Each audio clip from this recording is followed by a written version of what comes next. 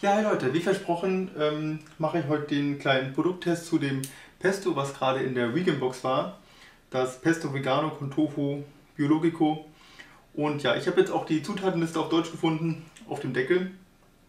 Ja, ähm, kann man ja auch nicht entdecken, so einfach.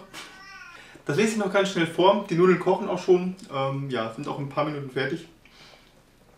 Bio-Vegan Pesto mit Tofu in extra nativem Olivenöl. Zutaten natives Olivenöl extra, 33%. Zubereitung aus Genüsser Basilikum, 29%. Ähm, ja, Garnüsser Basilikum, 48%, also in Klammern jetzt. Äh, natives Olivenöl extra 45% und Salz.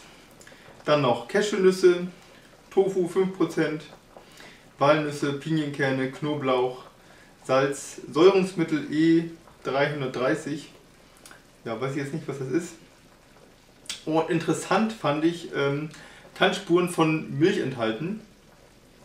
Ja, aber das ist immer so eine äh, Diskussionsfrage ist, sind jetzt die Produkte, die, äh, wo sowas draufsteht, kann Spuren enthalten von Milch, ähm, Ei und so weiter, ähm, sind die wirklich vegan? Wobei es ja nur bedeutet, dass die Produktionsstätte ähm, auch Sachen mit Milch herstellt. Ähm, ja, aber interessant, dass sowas auch in der Vegan Box vorhanden ist. Das beruhigt doch gleich ein bisschen. Ähm, Nutzung und Erhaltung nicht kochen oder aufwärmen. Einmal geöffnet mit Olivenöl decken und im Kühlschrank lagern. Okay. Ja, bin gespannt, wie es schmeckt. Ein paar Minütchen brauchen die Nudeln jetzt noch. Äh, ja, bis gleich. So, die Nudeln sind fertig soweit. Ich habe jetzt keine Spaghetti genommen, sondern Fusilli. Spaghetti habe ich jetzt gerade nicht da.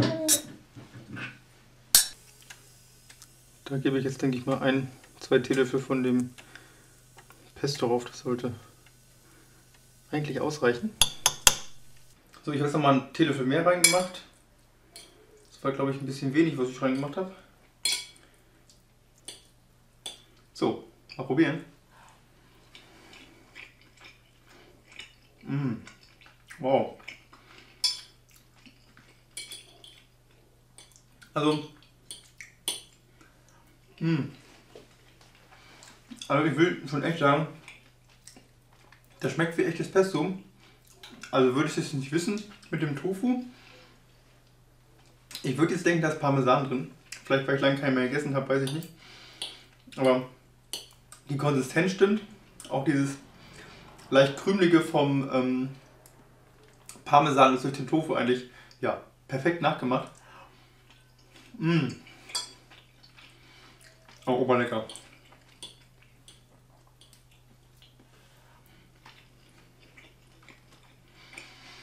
Mmh. Ja, schmeckt super nach Basilikum. Einfach lecker. Ich hatte erst gedacht, der Preis wäre ein bisschen hochgestochen. Ich glaube jetzt, wenn ich mich recht erinnere, irgendwie 5 Euro waren das für das kleine Glas. Aber wenn ich das jetzt so probiere, ähm, dann lohnt sich das wirklich. Wobei ich gerne normal versuchen würde, das nachzumachen mit Tofu. Hm. Dann werden wir die Zutaten mal aufschreiben und dann bei Zeiten, ähm, wenn unser Basilikum wieder ein bisschen nachgewachsen ist, ähm, ja, das nochmal nachmachen ähm, mit Tofu. Mal gucken, ob ich das genauso hinkriege. Aber das ist auf jeden Fall, ja, super lecker. Also wenn du auf Pesto steht oder Pesto einfach ähm, vermisst, dann wäre das auf jeden Fall das Richtige für euch. Ist halt nur ein bisschen, wie gesagt, ähm, ja, ein kleines bisschen teuer. Ja, vielen Dank fürs Zusehen bei diesem kleinen Produkttest. Den ähm, Crumble Tofu, also diese Würzmischung für dieses äh, Tofu-Rührei, probiere ich demnächst noch aus. Und ähm, ansonsten bis zum nächsten Mal. Tschüss.